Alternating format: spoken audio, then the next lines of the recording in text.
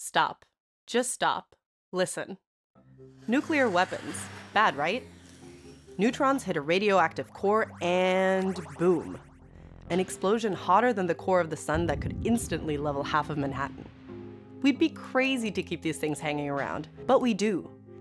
Thousands of them. They're stuffed into submarines, bunkers, and underground silos in the US heartland. And get this hundreds of these cosmic scale, world ending weapons are always on, always ready to fire, and can be airborne within minutes. The military calls it prompt launch, we call it hair trigger alert. It should be called an accident waiting to happen. The idea is that if we think we see incoming nukes, we can get ours off the ground before they're destroyed. Use them or lose them, right? Except that's nuts. Leaving aside the morality of vaporizing people, hair trigger is a recipe for accidental nuclear war. The system relies on knowing when we're under attack.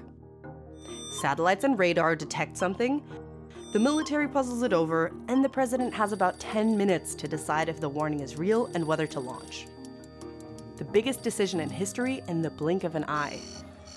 But satellite and radar can be wrong. They've been wrong before, and we've been lucky, lucky that missiles haven't been fired by mistake. Even generals, the who's who of our military, think the most likely nuclear war is an accidental one. That is 100% insane. Accident and nuclear war don't belong in the same sentence. They shouldn't even be in the same language. The president can and should change this, but needs political support to make it happen.